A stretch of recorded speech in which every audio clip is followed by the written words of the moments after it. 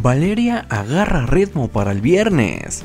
Jamilet y Catherine son de las rojas más poderosas que veremos en esta temporada.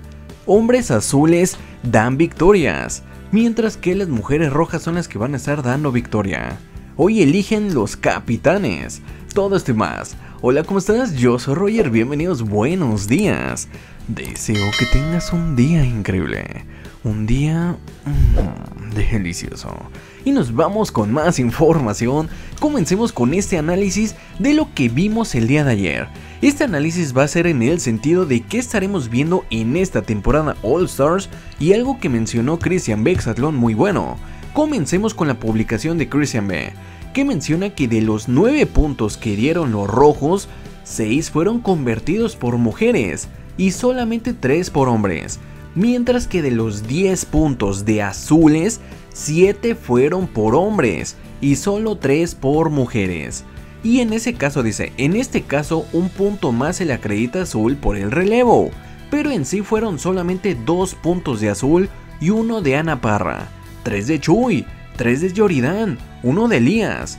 Kelvin, Dennis y Valeria fue, fueron en cero, mientras que de los rojos hicieron un punto Catherine, Viviana y Nona. 3 hizo Yamilet, Javier Massa y Magallón con un punto, JC el único que no hizo punto. Como puedes ver en pocas palabras, Kelvin, Denise y Valeria y JC son los únicos que no han hecho punto. Te lo repito, Kelvin, Denise, Valeria y JC. Mientras que el análisis en general es que en esta temporada estaremos viendo esto prácticamente.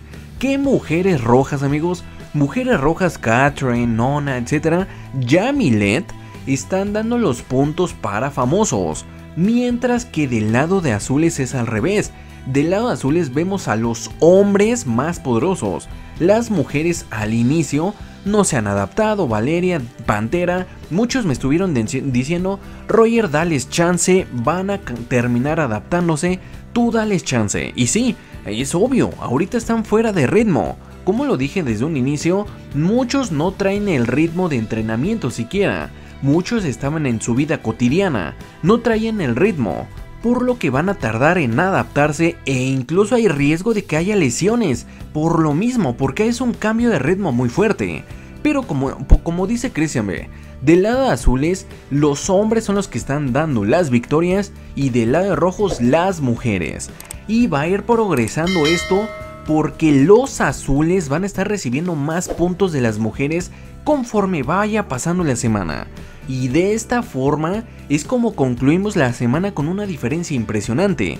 Es por eso que vamos a ver 10-1, porque al final de la semana los hombres azules y mujeres azules van a estar ganando más. Es por eso que te digo que al final de la semana los marcadores van a estar creciendo muchísimo vamos a ver por ejemplo que Valeria a final de la semana va a agarrar más ritmo, pero es por ahí del jueves viernes, ya cuando esté terminando la semana. Es una, un análisis bastante bueno que hizo Christian B y que quería compartírtelo. Acuérdate que el día de hoy es juego por beneficio, hoy eligen capitanes. Ya más al ratito, en la mañanita, ya por ahí de las 11 de la mañanita, ya que estés desayunado ya que estés bien despertado, ya que estés así, no sé, bañadita y todo, mmm, pues platicamos esto más a detalle con mayor información.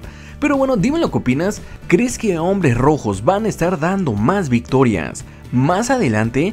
Porque del lado de famosos, como yo lo estoy viendo, es que urge una depuración de hombres. Así de sencillo.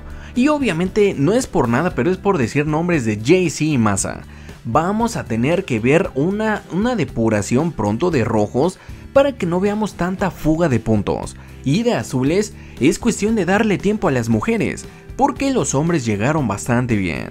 Pero bueno, me despido, desayuna rico, desayuna delicioso y dime en los comentarios qué vamos a desayunar hoy. Un huevito, un cafecito, ¿qué vamos a desayunar hoy? Dímelo por favor, no seas envidiosa, hay que compartir desayuno, ¿vale? Me despido, que te mucho, desayuna rico, provechito, bye bye.